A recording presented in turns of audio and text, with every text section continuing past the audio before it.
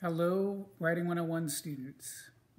Before you get into your research project any further than the free writing that you've already done, I feel like maybe I should talk about the elephant in the room plagiarism. You've probably heard about it. You may know what it is.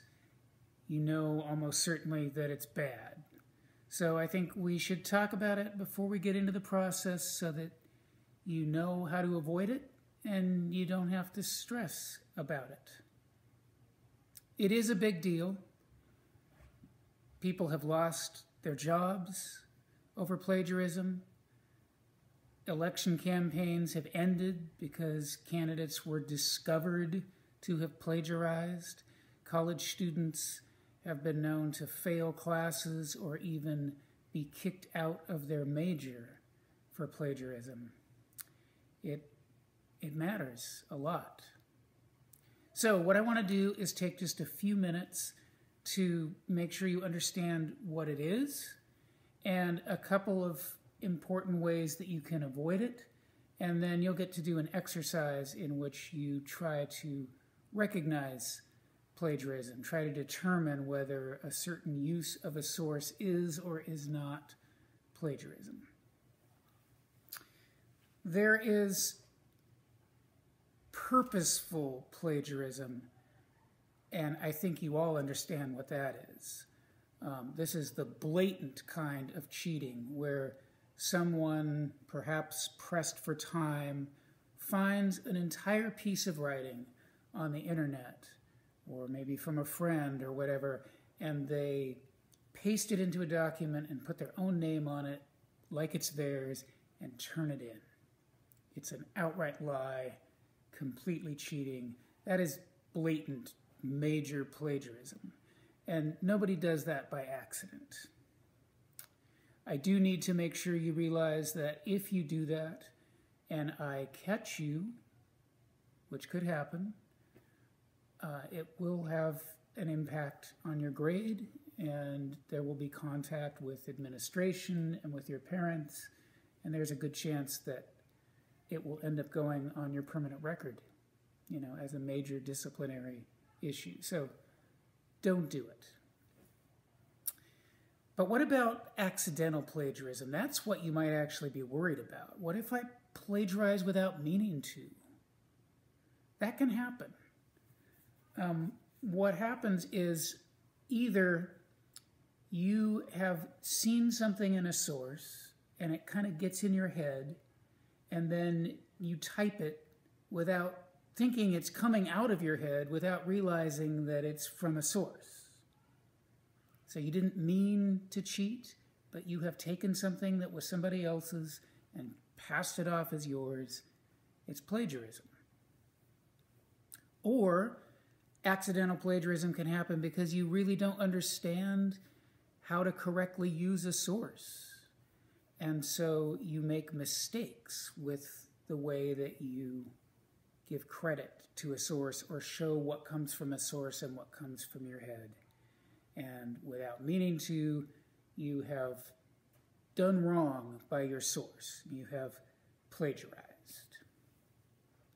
So, how can you avoid that? How can you avoid accidentally plagiarizing? There are two major uh, steps that I think are important to take.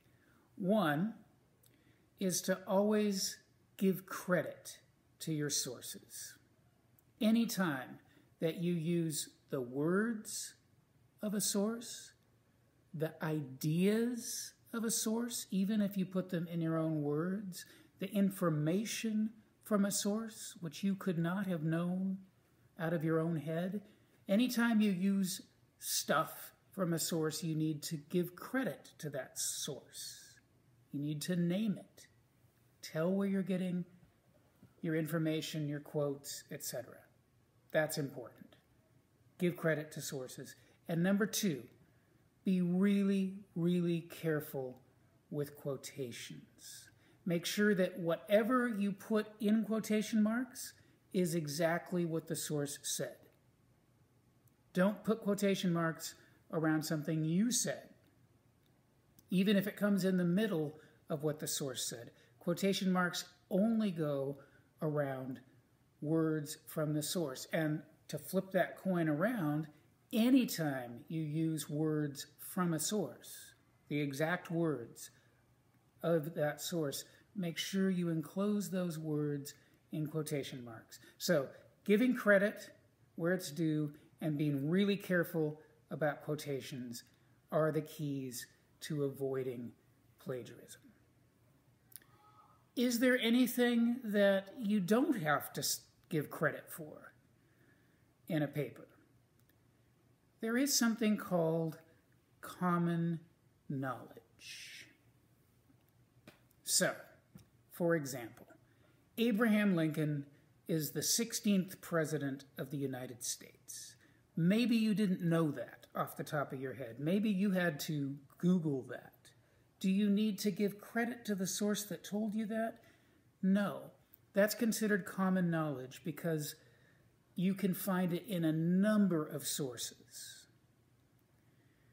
Anything that's like that, any piece of information that is in lots and lots of sources that a lot of people just know anyway, is common knowledge, and you don't have to give credit.